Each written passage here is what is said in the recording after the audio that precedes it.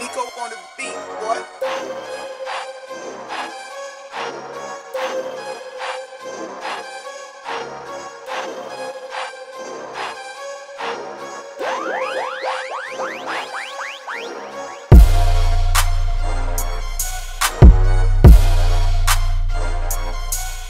so I got into football.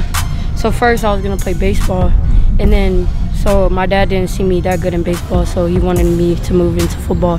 And then once he saw my passion for the sport, he wanted me to keep playing it because he know I had great potential in the sport. So what it means all to me about having my father everywhere I go in football, it inspires me because he puts the motivation on me and I do better every time he says focus up, I have to focus and I listen to him and I do better every time. And the impacts of him being there, he makes me be a dog and all that that other people don't have yet.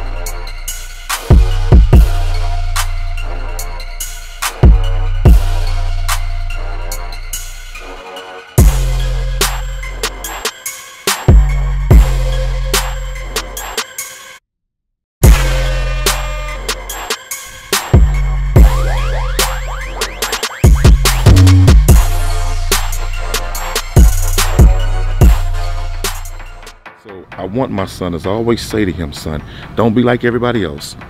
Dare and have the courage to be different. And I always stress to him discipline, discipline, discipline in every aspect of his life because if he holds fast to the discipline, he will be successful and he will be a great young man.